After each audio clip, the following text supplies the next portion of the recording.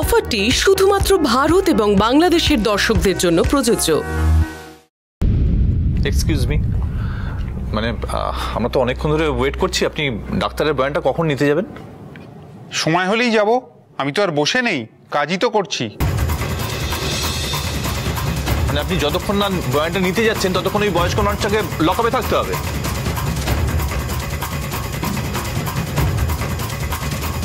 আমরা নিরুপায়। ডাক্তারের বয়ান ছাড়া আমি ওনাকে ছাড়তেই পারব না।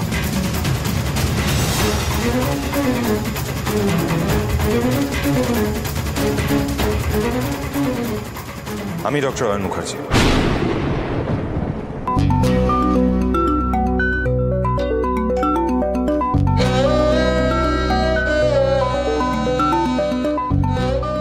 স্যার আপনি নিজেই থানায় চলে অঞ্জন স্যার কোথায়? ওনাকে ছেড়ে দিন। স্যার? বাবা ওই যে লকআপে।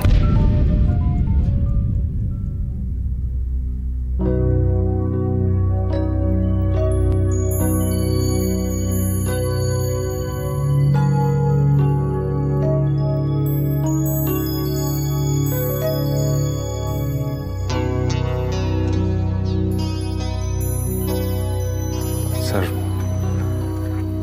আমাকে চিনতে পারছেন?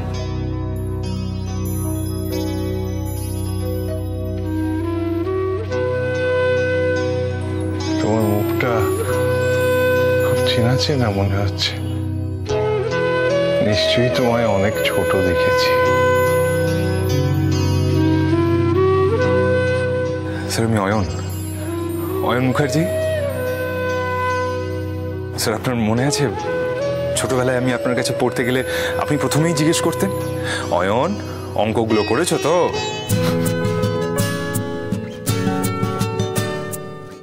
আমি সেই অয়ন স্যার। আপনার আশীর্বাদে আমি আজ ডাক্তার হয়ে গেছি। প্রচণ্ড নস্টালজিক স্যার ব্যাপারটা। মানে আমার তো আজও মনে আছে, বিকেল হলেই মা হাত ধরে নিয়ে আপনার বাড়িতে দিয়ে আসতো। আপনি আমায় কত বকতেন, শাসন করতেন, কিন্তু ভালোবাসতেন আপনার সব কথা আমার মনে আছে স্যার, সবটা। ও। তুমি সেই অয়ন। তিথি?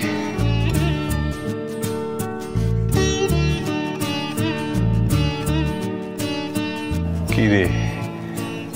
চিনতে পারছিস ওকে? এ হলো তিথি। ছোটবেলায় কত খেলেছিস ওর সঙ্গে। আর নিরু তো খুব ঝগড়া করতো। তিথি তুই তুই এত আচ্ছা তোর কি এখনও টোয়েন্টি ফোর সেভেন নাক দিয়ে জল বেরোয়? আর তুই ওই ওই সেই রুমালটা দিয়ে নাক পুছিস রুমালটা আছে এখনও? এক minute, sir. Inspector, Mandira Sengupta আমার পেশেন্ট পেশেন্টের শারীরিক অবস্থা বিচার করে একজনকে অ্যারেস্ট করা হলো। অথচ ডাক্তারের বয়ানি নেওয়া হলো না। আজকে যদি ওনার কিছু হয়ে যেত তার দায়িত্ব কে নিত? আপনি? আমার হাত পা বাঁধা। পলিটিক্যাল প্রেশারও রয়েছে বুঝতেই পারছেন। তাছাড়া ভিকটিমের মেয়েও সাক্ষী দিয়েছেন। এই কেসে সবচেয়ে বড় সাক্ষী আমি। আমার বয়ান ছাড়া আপনি কাউকে অ্যারেস্ট করতে পারেন না ইন্সপেক্টর সরি ভুলটা আমারই। আপনি এক্ষুনি অঞ্জন বসুকে ছেড়ে দিন। দেখুন পেশেন্ট এখন সেফ আছে আউট অফ ডেঞ্জার আপনি দরকার হলে হসপিটাল থেকে কাগজপত্র নিয়ে আসতে পারেন। ঠিক আছে। কিন্তু ততক্ষণ অঞ্জন স্যার লকআপের ভেতর থাকবেন না। ওনাকে ছেড়ে দিন। মানে? দেখুন পেশেন্ট এখন সুস্থ আউট অফ ডেঞ্জার আপনি কোন অভিযোগের ভিত্তিতে ওনাকে আটকে রাখছেন? আপনি হয়তো জানেন না। অঞ্জন স্যার মানুষ নন। দেবতা।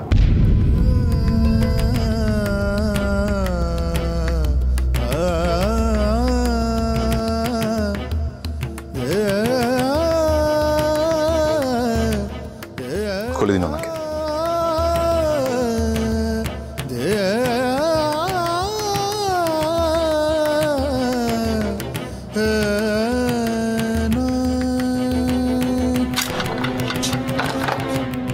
عشو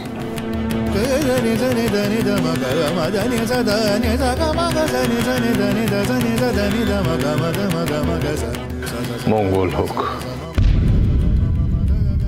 আমি ইন্সপেক্টরের ডিউটি করেছি মাত্র। আমি সেটা বুঝতে পেরেছি।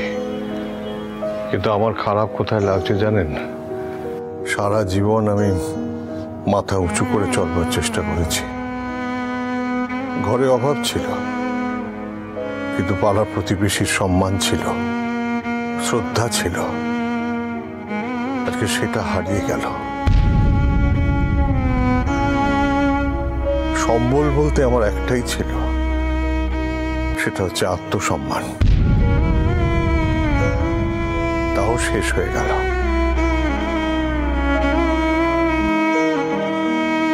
আর বোধহয় সেটা কোনোদিনও ফিরে পাবো না।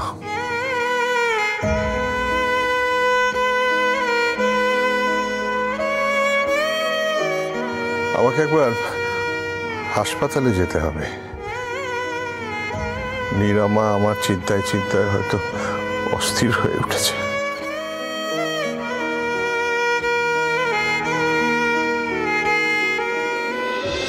মা?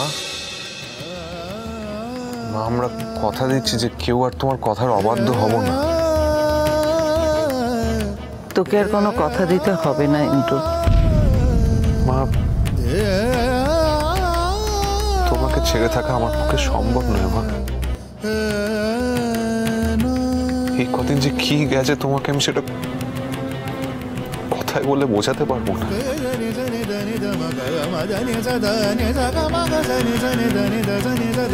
না পেরেছি খেতে, না পেরেছি ঘুমোতে। শুধুমাত্র ভগবানের কাছে প্রার্থনা করে গেছি যে আমার মাকে ফিরিয়ে দাও।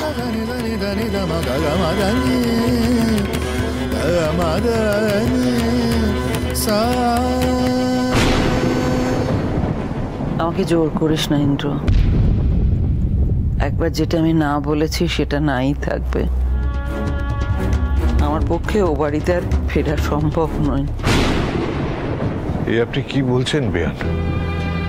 বাড়ি ফিরে যাবেন না তো কোথায় যাবেন? এই বয়সে ছেলে মেয়েদের কাছে থাকাই তো সব থেকে ভালো। আর ভগবানের আশীর্বাদে আপনার ছেলে মেয়েরা আপনাকে খুব ভালোবাসে। মায়ের তো আর ছেলের ওপর রাগ হয়নি? আমার ওপর রাগ করে আপনি বাড়িতে যাবেন না কেন?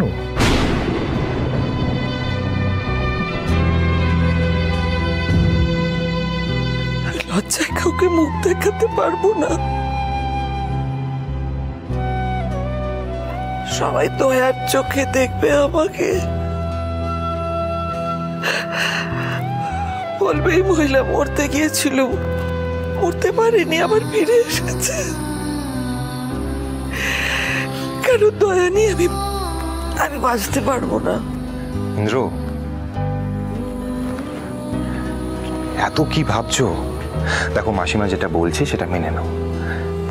এই সময় মাসিমাকে মানসিক চাপ দেওয়াটা উচিত হবে না বুঝলে? আমরা নিশ্চয়ই মায়ের খেয়াল রাখব। মা তো আমার সঙ্গে থাকতেই চাইছে না।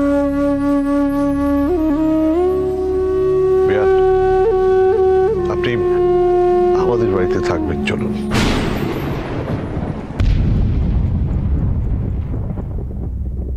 ছেলেদের কাছেও নয় বৌমার কাছেও নয় আমাদের বাড়িতে। বাবা! কাকু এসব কি বলছো তুমি? ভুল কি বলেছি। কেউ যদি কোনো সমস্যায় পড়ে, তার সমাধান করার জন্য তার পাশে দাঁড়ানো উচিত। আমি তো তাই করছি। বাহ, কতগুলো বছর পেরিয়ে গেল হ্যাঁ? আমরা সবাই ছোট থেকে বড় হয়ে গেলাম। এই পৃথিবীর বুকে কত ঘটনা ঘটে গেল কিন্তু আমার, স্যার? আমার অঞ্জন স্যার ঠিক যেমনটা ছিল, তেমনটাই আছে। এখনও পর্যন্ত মানুষের আপদে বিপদে তাদের পাশে তাকে বন্ধু হিসেবে পাওয়া যায়। আর নিজের কথাটা আজও ভাবতে পারলেন না।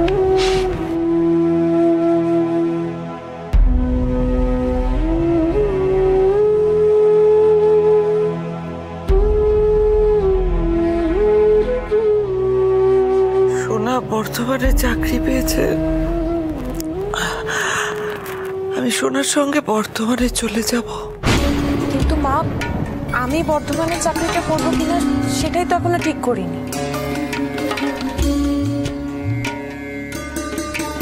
এক্সকিউজ মি আমি আমি একটা কথা বলি? এখন তো মানে গভীর পারিবারিক আলোচনা চলছে আমার থাকাটা উচিত হবে না। আমি আসি। মাসিমা আমি আসলাম হ্যাঁ? স্যার আসছি। এক্সকিউজ মি শোনা তোর চাকরি করার স্বপ্নটা পূরণ হবে। বর্ধমানে চাকরিটা ছাড়িস না। আর বর্ধমান গেলে মাও তোর সঙ্গে যাবে। তাতে মায়ের আরও ভালো লাগবে। দাদা, দেখ, তুই মাকে নিয়ে চিন্তা করিস না। মাকে আর বোনকে আমি দেখে রাখব। আমিও তো ওদের সাথে যাব। সোনা, দেরি করিস না, যা, গিয়ে জামা কাপড় সব গুছিয়ে নে সুটকেসে ভরে নে।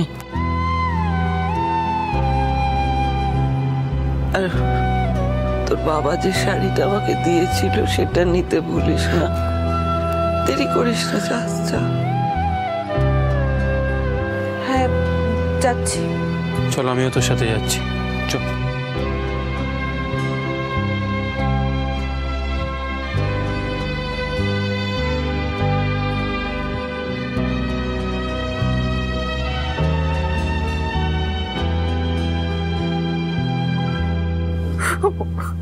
মা আমাকে ছেড়ে যেও না তোমাকে ছেড়ে কি করে থাকব? আমি তোমাকে ছেড়ে থাকতে পারব না, মা। আমাকে ছেড়ে যেও না, মা, আমি তোমাকে ছেড়ে থাকতে পারব না। আজ অব্দি থাকিনি, মা।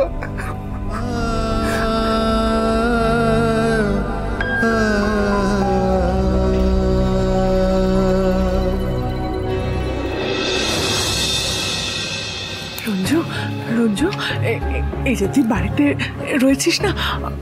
খুব ভালো করেছিস। হ্যাঁ দেখ, তুই এবার থেকে বাড়িতেই থাক হ্যাঁ? নিজের পরিবারের সাথে। দেখ, আমি তোর মা, আমি তোকে বলছি। এতে তোর ভালো হবে, বিশ্বাস কর। না, মা। তোমার এই কথা মানতে আমি রাজি নই। তুমি আমাকে ভুলতে বলো, আমি সব ভুলে যাব। কিন্তু ঝিনুক, ঝিনুককে ভোলা আমার পক্ষে সম্ভব নয়। সাবিত্রী এদিকে একবার এসো। ঠিক আছে এবার এই ব্যাগটা ধরো। এটা একটু যত্ন করে রাখো। এতে হাজার পঞ্চাশেক টাকা আছে। কেমন? এই! কিরে তোর চোখ কি এখনও খুলবে না? আরে আমি যে তোর বাবা তোকে কখনো জন্ম দিয়েছি এটা বলতে তো আজকাল আমার ঘেন না লাগে রে। এরপর তো দেখছি তুই নেশা ভাঙ করে নর্দমায় পড়ে থাকবি! চুপ করো না। একটু শান্ত হয়ে বসো। কেন এরকম করে বলছো? চেঁচামেচি করলে আবার যদি ছেলেটা চলে যায় তখন কি হবে বলো যাক না যাক আমার কিচ্ছু যায় আসে না। কিচ্ছু যায় আসে না। ওর বেয়াদবি তুমি কি ভাবছ? আমি সহ্য করব। এরপর ওকে হাত পা বেঁধে বাড়িতে ফেলে রাখব। আর ও যদি একবার এরপরে ঝিনুকের বাড়ির আশেপাশেও যায় না আমি সত্যি বলছি এরপরে কিন্তু আমি বেধরক পেটাবো। এটা তুমি তুমি তোমার ছেলেকে ভালো করে বুঝিয়ে দাও। আচ্ছা আজ ভালো করে বোঝাও। আচ্ছা শোনো শোনো।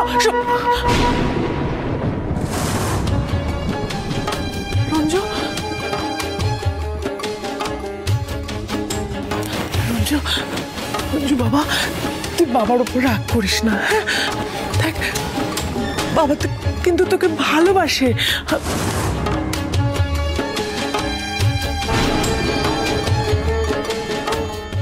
এটা একটু যত্ন করে রাখো। এতে হাজার পঞ্চাশেক টাকা আছে। আসলে আসলে তুই বাড়িতে থাকিস না তো? তাই বাবা খুব কষ্ট পায়।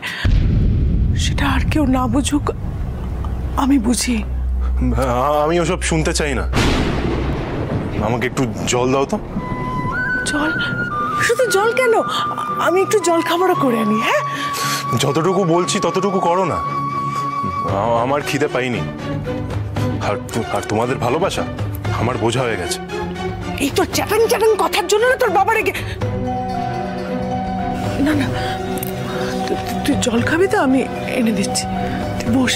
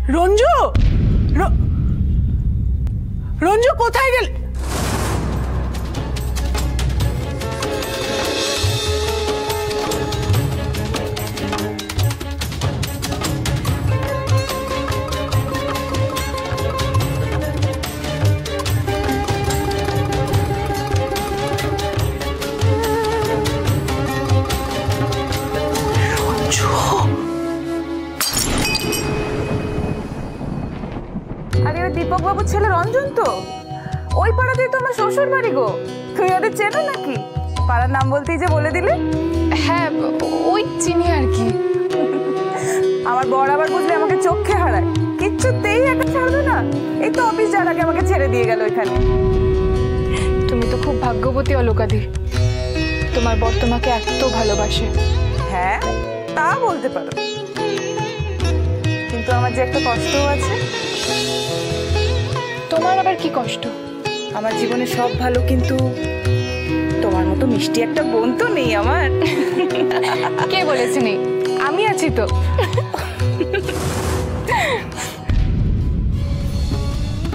দেখুন দেখুন স্যার আমরা দুজন সকাল থেকে অফিস ভিজিট করে আসছি মাথার ঘাম পায়ে ফেলে।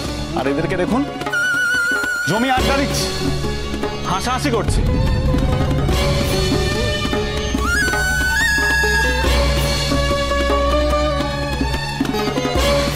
অন্যের দিকে আঙুল তোলার আগে নিজের কাজে মন দাও শ্রমিক। সকাল থেকে মাত্র একটা প্রজেক্ট ফাইল তুমি জমা দিয়েছ, তাতেও দু দুটো হিসেবে ভুল। আর এদিকে সুমনা সুমনা কিন্তু কাল জয়েন করেই দু দুটো ফাইল জমা দিয়েছে, এবং সেটা সম্পূর্ণ নির্ভুল।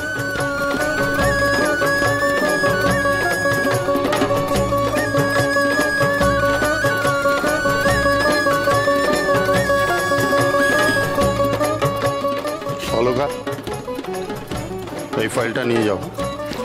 এটা ভালো করে স্টাডি করে আমাকে রিপোর্ট দেবে। ওকে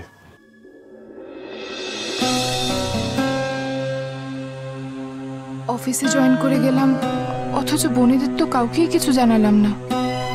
বাবাকেও তো চাকরি পাওয়ার কথা জানাইনি। দেখি বাবাকে ফোনে পাই কিনা। বাবাকে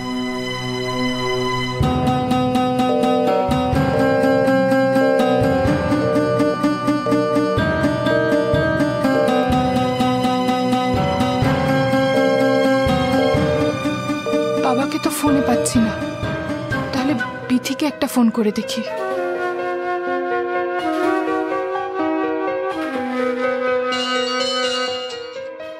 হ্যাঁ শেষদি বল। হ্যাঁ রে তোদেরকে একটা খবর দেওয়া হয়নি। আমি চাকরিতে জয়েন করেছি। এ তো দারুণ খবর। সবাইকে জানাতে হচ্ছে তো। আমরা না সবাই এখন হসপিটালে। হসপিটালে? বিশুদাও তো কাল হাসপাতালের কথাই বলছিল। কি হয়েছে রে? সবাই হাসপাতালে কেন?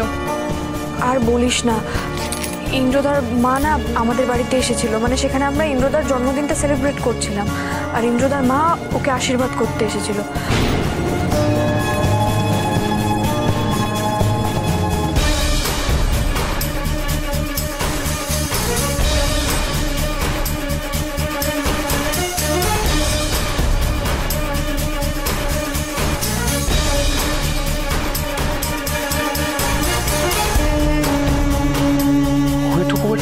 ছেলের শরীর খারাপ নিয়ে তুমি মিথ্যে কথা বললে, মা। আপনি কেমন শাশুড়ি? যে নিজের ছেলে আর ছেলের বউকে এক হতে দিতে চান না?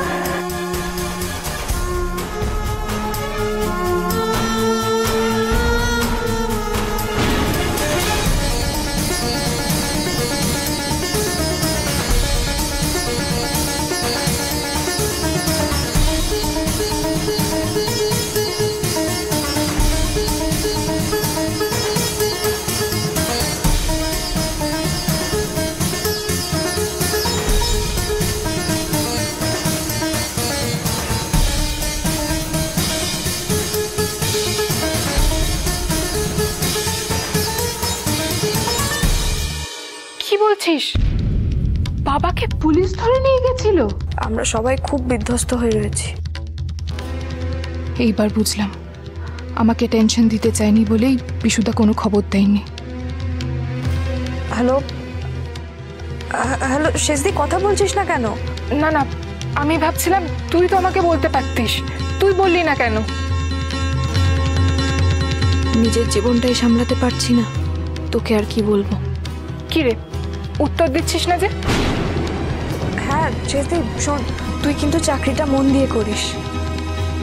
আচ্ছা শোন, এক্ষুনি বাবাকে কিছু বলিস না। আমি বাবার সঙ্গে দেখা করে সব বলব। আচ্ছা তাই হবে। এখন রাখছি হ্যাঁ?